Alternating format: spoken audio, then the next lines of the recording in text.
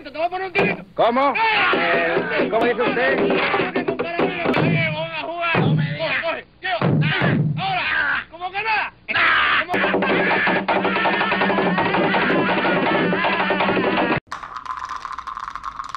¿Cómo Una mujer.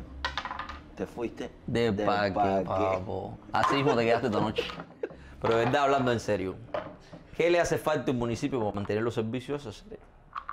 ¿Tú crees que un país como este, una autoridad municipal, pueda mantener los servicios públicos en un país? Bueno, pudiera. Pudiera. ¿Qué, qué tenemos diferente nosotros aquí? Para no tener un municipio que No, pero tú no me estás hablando en serio.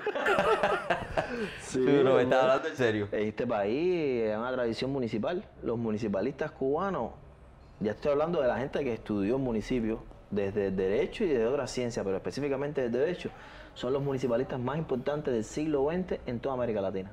¿Y qué tú entiendes por municipio? Porque yo oigo a la gente hablar de municipio, municipio. A mí me parece en el fondo que la gente no entiende el término municipio, sobre todo porque la gente de mi generación, la gente de las generaciones anteriores, el sentimiento de municipalidad se ha perdido también porque se ha perdido el sentimiento de prosperidad local, ¿no? La capacidad que tenía la gente de impulsar localmente el desarrollo, la capacidad que tenía la gente de participar. Sí. Eh, eso se ha perdido completamente y hoy hablarle a la gente de municipio o hablarle a la gente incluso, la gente se ha confundido con los términos localía y municipio porque se ha manejado indistintamente que la sociedad local era lo mismo la provincia que el Exacto, municipio. también lo local era la provincia, por ejemplo. Eh, se ha perdido un poco la... Hasta la constitución anterior. Efectivamente, hasta en la constitución del 76. Ujú. Pero la pregunta mía es, ¿qué entiendes tú por municipio y qué se le pudiera decir a la gente que es un municipio para que la gente entendiera de qué estamos hablando?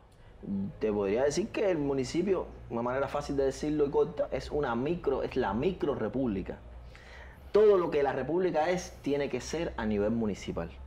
Y te lo podemos decir, lo decimos al revés, como lo decía mi, mi profesor, o lo dice mi profesor Giovanni Lograno, el gran romanista italiano, eh, la república bien organizada debe ser una federación de municipios.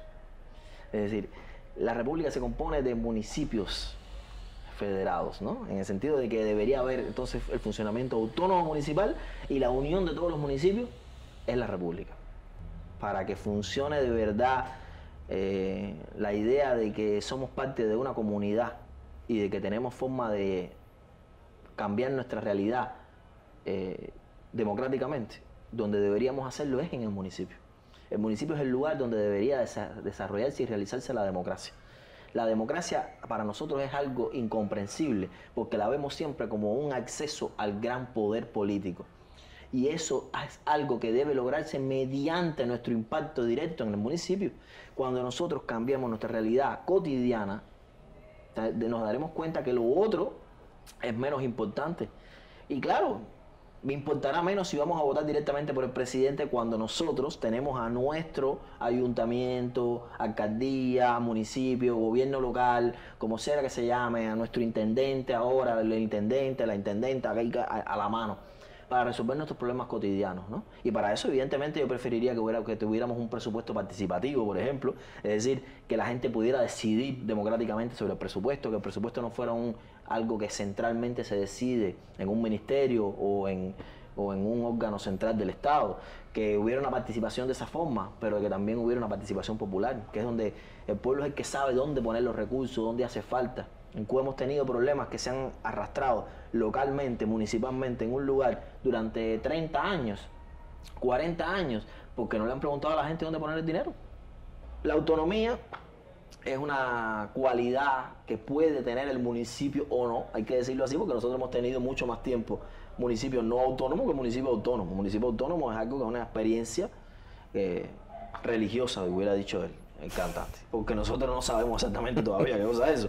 Ahora cuando nuestra constitución ahora deja una puerta abierta, una de las puertas más interesantes que abre la constitución, como la de los derechos humanos, como la del Estado de Derecho, como la de la protección judicial de los derechos humanos, como el tema de la protección específica de otros grupos de minorías en el país, como la pluralidad de familias, es el tema de la autonomía municipal.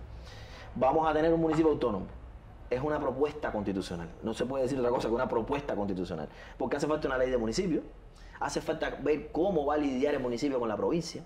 La asamblea provincial ha desaparecido. Hay menos democracia a nivel provincial en el país, porque los gobernadores provinciales no van a ser electos, los intendentes municipales no son electos. Entonces, eh, la autonomía municipal ahora mismo para mí es una enorme interrogación. Está entre interrogación. Y ojalá funcionara, porque yo creo que es algo que puede cambiar nuestra vida de ahora para mañana. Si hay algo que puede cambiar nuestra vida cotidiana rápidamente, es que nosotros podamos decidir cómo cambiar nuestra realidad. Y eso se hace en el municipio.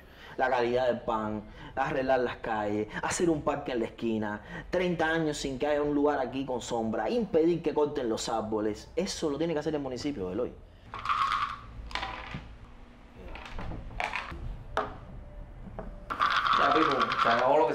Vamos, que ahorita nos cogen cana nosotros, nada más que hasta las paredes y los helechos, los helechos.